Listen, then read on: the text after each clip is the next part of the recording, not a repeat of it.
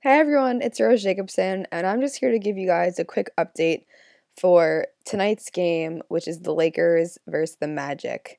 And the reason this game is so important is, well, just because of the Dwightmare situation. Dwight Howard played his first 621 games in eight seasons with the Magic, and for the first time ever in his career, he's going to be play he's going to be playing against them. And Los Angeles has been struggling. They got rid of their coach, just added D'Antoni, and they're finally doing a little bit better. Howard's going into this game playing, um, well, coming off of his best game of the season so far, and it seems like the Lakers are taking to more of the D'Antoni fast pace offense.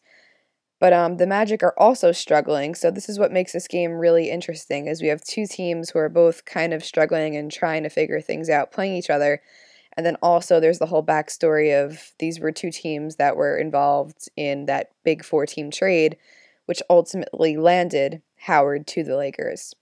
Now, the Magic have just been devastated recently by injury. Jameer Nelson sat out Friday because of the left Achilles um, tendon, tendon problem, and uh, he's day to day, and he might play today, might not play today. There's no word on that yet.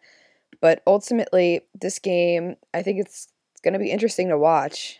I'm definitely going to tune in myself. What do you guys think is going to happen? Obviously, Dwight Howard's reception into the game should be quite interesting. But um, yeah, honestly, I'm excited to see what happens. Do you think that he's going to really explode because it's his old team?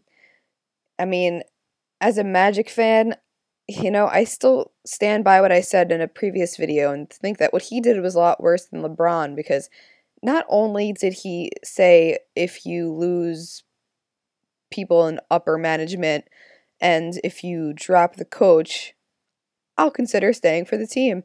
And I think I'm going to stay with the team if this stuff happens.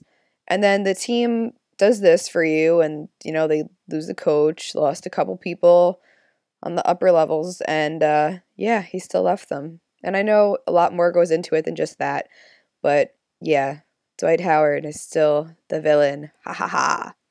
But um, what do you guys think of today's matchup? Who do you think will win? I hope the Magic do, but in reality, I believe the Lakers are going to take the this game tonight.